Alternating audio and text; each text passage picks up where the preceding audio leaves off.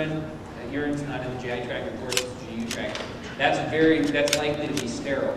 But any condition that causes any of those bodily fluids to occur, you have to assume that they're intermingled. Um, there's no safe bodily fluid. But blood is, you see visible blood, that is the biggest. Yes? A lot of times chasers have first work to be in the area. Do you recommend transporting the person to your approach?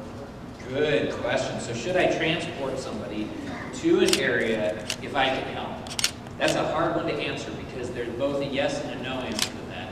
The first is, in Joplin, were it not for people using their personal vehicles to transport people to the hospital, I believe the toll would have been higher. Because some of the people who made it to the hospital were just barely alive by the time they were brought by personal vehicle. But keep in mind what I said about liability. Once you commit to doing that, if your intentions are good, that's great. But if you're reckless in any way on the way back to that hospital trying to figure out where to go, and it ends up resulting in harm, it is possible it could be a liability situation. I don't think anyone's going to care in a Joplin-esque scenario. But at the same time, do you know enough about head and neck injuries to feel comfortable transporting people? If they have just injuries to their limbs and no head injuries, you can be very helpful. Um, and in fact, Cloud9 tours helped at Joplin with transporting someone just like that. And so I think it's, you know, you just need to know your comfort zone. Yes? Put your slide up for the uh, hotline number. Uh, the hotline number, sure. Uh, can you take us back to that? It's uh, way back at the beginning. Um, so sure, I'll be happy to do that. And just so you know, it's 904 343 4325. All right, next. Yes? Can you also, next after that one, put the um, one that has the link to the training up? To the training for, for Yeah. FEMA? Yeah. The ICS? Sure. So there's, there's that. I'm the handsome devil over here, Jeff Piotrowski. You know, just a face built for radio, that one. Um, all right, um, so I, can you try and find? I don't know why I give him so much, because he's, no, I, I I love him and and Aaron. Uh, other questions? Tim?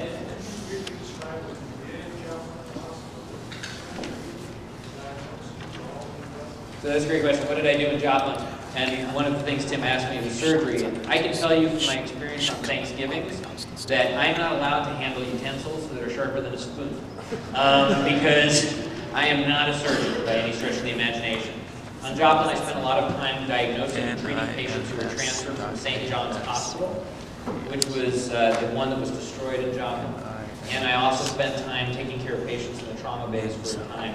And between those two areas, I took over care of about 50 patients that night. And it, like I said, it was the best night of medicine ever. You know why? You didn't have to write any notes.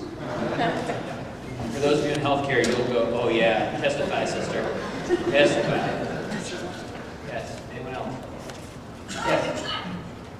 In a disaster like the storm like we see, in your experience, are triage back really ever used? Do you get trained there? I have never a triage tag used. They're beautiful, and I'm sure they do that somewhere, in some way, shape, or form, but there's a lot of marking on patients. I like to mark patients. Triage tags basically denoting whether somebody is uh, green, yellow, red, or black.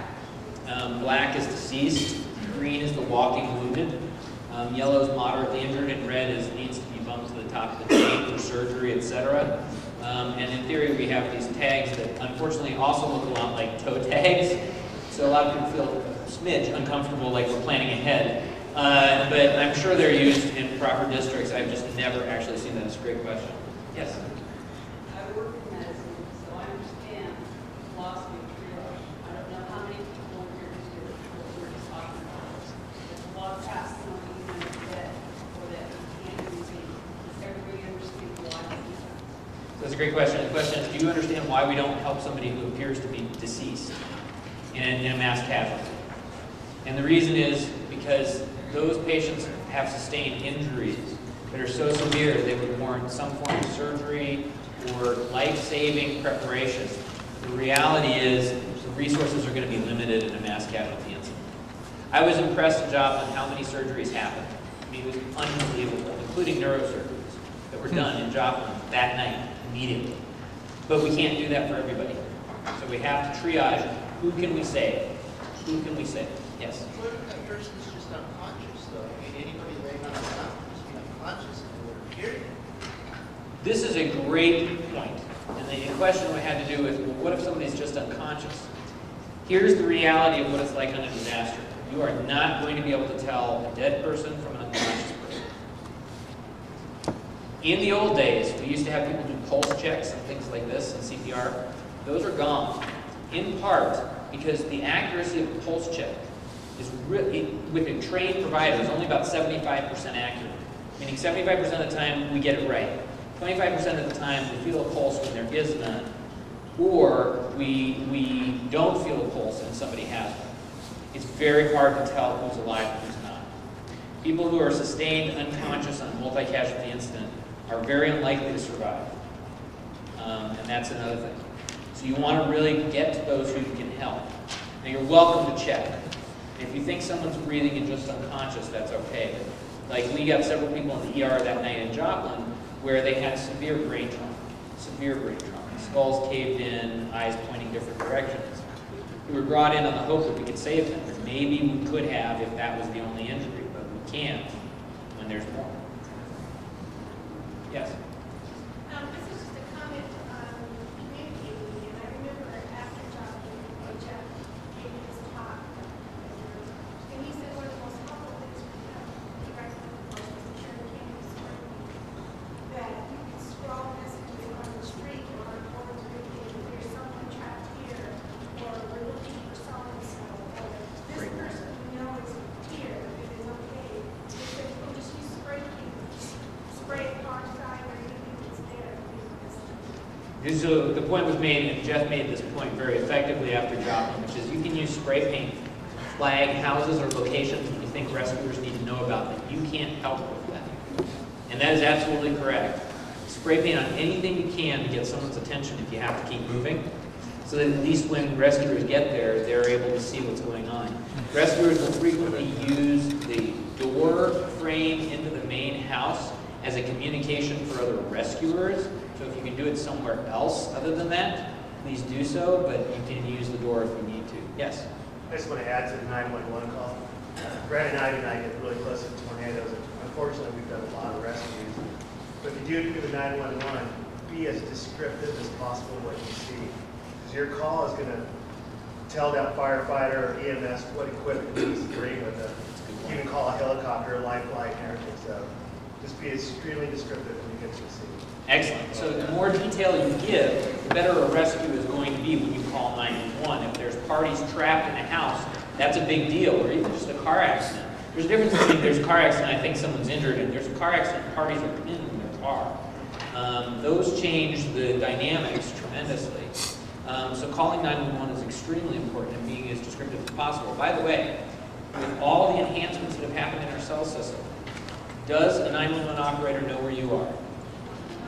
No. If you're not using a GPS program that at least provides you some guidance as to where you are, you need to get one as a chaser. There's no excuse for that. You have to have a GPS. By the way, if you're relying on your phone GPS, I hope that they also have network coverage where you're at. Because that's not, I mean, it will give you latitude and longitude. You need to have some idea what town. I, I lose track when I'm chasing a storm. I'm no longer looking at what town I'm in. I'm looking at the road or the highway, but I don't know where I'm on it. You pick up the phone dial 911, take a moment before you call and look at where you are before you call because that makes a huge difference. And also, don't call 911 after you've left the scene because you may not be able to remember where exactly you saw that. Yes? Was there cell coverage in Joplin? Were the towers down? Towers were down. Cell coverage was completely out, and the uh, telecommunications in the hospital were out when we first got there, which led to a whole, I mean, I couldn't believe what it was like to have no cell phones. Here's one of the things I'll say about the people in Joplin. They're amazing to me. Those nurses and doctors didn't know the status of their own family members, and they kept working. You know, I was just passing through. They were able to keep working. I don't know that I have that kind of focus. Right? I mean, that's amazing. That's heroism. Okay? They just continue to do their job. That's what you do. You do what's right in front of you. Yes? But then again, you never know when communications infrastructure is going to go down.